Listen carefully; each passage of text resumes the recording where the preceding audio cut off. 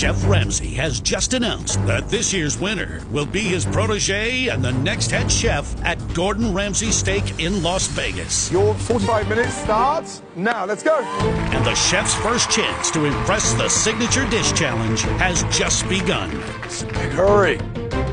Let's cook. Uh, I'm here to win a competition. Face to face, toe to toe, eye to eye. Mano a mano, you hit me, I hit you. Best man wins. End the story. Not sure I agree. Actually, it's just basic chemistry. Elements, they combine and change into compounds.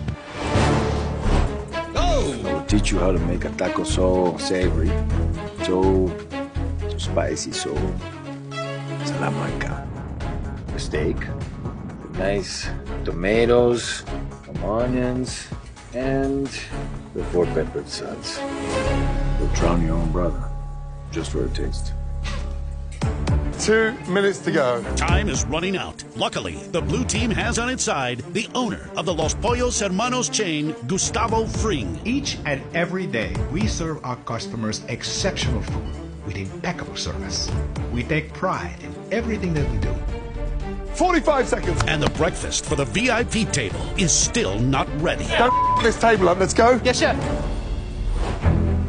As we can see, some, in order to meet the task, choose performance enhancers, while others must first make sure the cooking zone is not contaminated. A fly, I get it, seems insignificant. But trust me, The batch will be good for nothing if we don't clear the contaminant. Stay tuned for the next episode of Breaking Kitchen.